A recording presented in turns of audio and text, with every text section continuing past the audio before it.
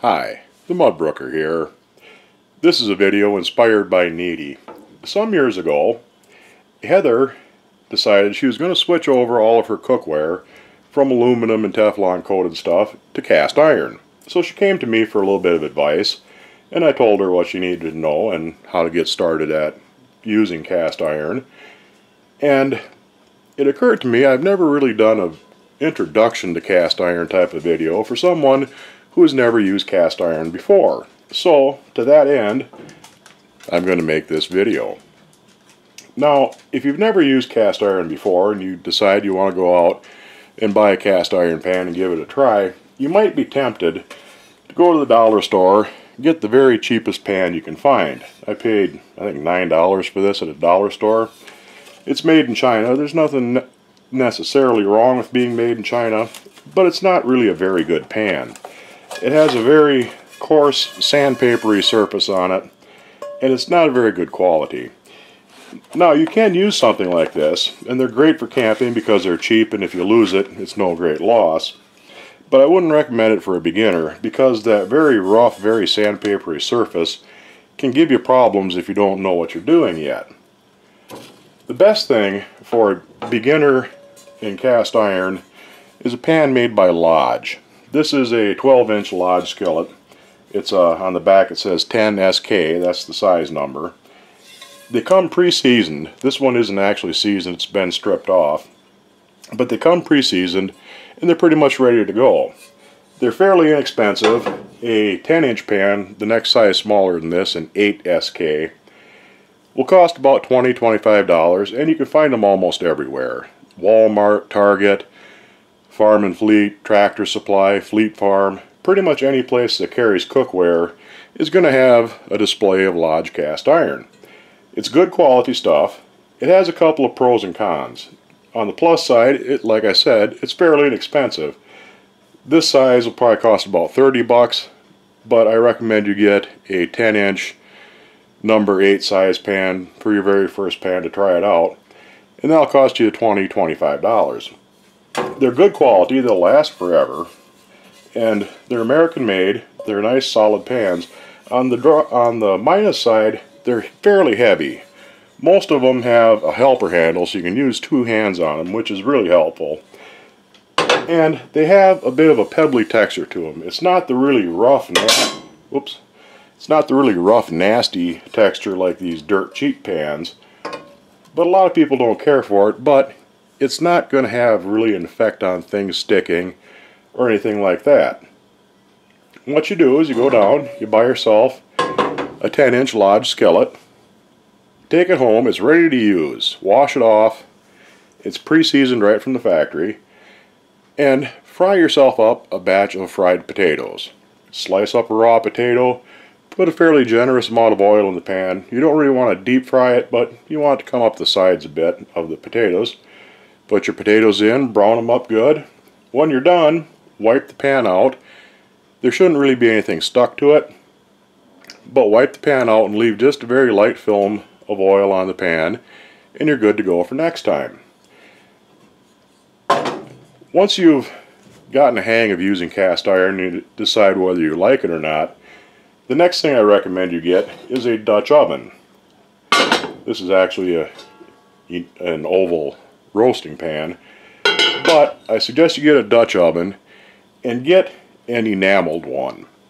Enamel on cast iron prevents problems with long cooking acidic foods in them. If you want to make like a braised beef with a wine sauce and you want to simmer it for a long time in the wine sauce, on bare cast iron, that'll tend to strip away the seasoning that's there. And with enamel, you won't have that problem. Again, Lodge makes enameled Dutch ovens. There's a lot of other brands out there. They're all pretty good. So you can't really go too far wrong with a nice enameled Dutch oven. And that is your basic, set him aside, and that's your basic needs for cast iron cookware. But there are a lot of things out there. There are tons and tons and tons of cast iron products out there.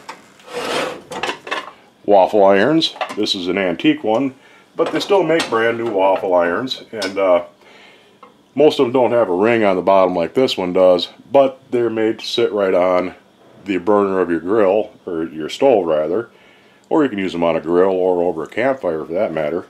But they're meant to sit right on the burner, and they work just great.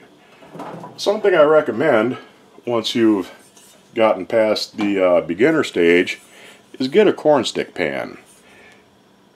Pretty much every manufacturer that makes cast iron for the past century has made cornstick pans. They're easy to find. They're not terribly terribly expensive. Lodge still makes them today, brand new. They're about, I think, 20 15 20 dollars. I'd have to look and see, but they're not very expensive. Even older vintage ones like this are only 30 bucks or so, 40. Besides making cornbread in the shape of corn cobs, these are fantastic for making hot dog buns. You just you just pat your dough down into the, into the little compartments there. Go over the top of it with a rolling pin, which will slice the dough off nice. Peel off your extra dough, let it rise, bake it up, and you're in business. Like I said, fantastic hot dog buns. Something else that's kind of handy is a cast iron muffin tin. This is a nice speckled blue enamel. Most of them are just plain, but they're also a pretty useful thing to have for making muffins. You can bake bread in a Dutch oven, make beautiful round loaves in a cast iron Dutch oven. They're fantastic for that. They also make cast iron loaf pans for making meatloaf or bread or whatever you want to use. But if you don't have one of those, a Dutch oven works great. Or even a skillet. If you want to make a round loaf of bread, you can just bake your bread in a skillet. One thing you do have to watch out for, if you start getting into cast iron, it's endlessly fascinating, to me anyway, and things can start to get out of hand if you're not careful. You end up with more cast iron on your walls, on your floors, just about every available surface you've got covered in cast iron pans. There's more down here even. Got a whole pile of stuff there that I'm working on. Some of these I sell and buy and sell and trade and move around, but a lot of them are keepers. Anyway, that's about it for this video. I've rambled on long enough. A lot of people are getting into cast iron for health reasons because the uh, they're worried about aluminum and worried about non-stick Teflon coating coming off in your food. They're also usable on an open fire. A lot of preppers are getting into it because they're uh, concerned with having a gas stove or a electric stove and if you need to cook outside over a gas burner or an open fire, cast iron is the best way to do that. So, there's huge interest in it. It's gotten a lot more popular over the last 10 years, and the last few years especially. Cast iron has really made a comeback, which is nice to see. Thank you much for watching. I hope you appreciate the video, and I hope that gave you a little bit of an idea of what you're getting into if you want to start using cast iron cookware. Thanks for watching. Bye.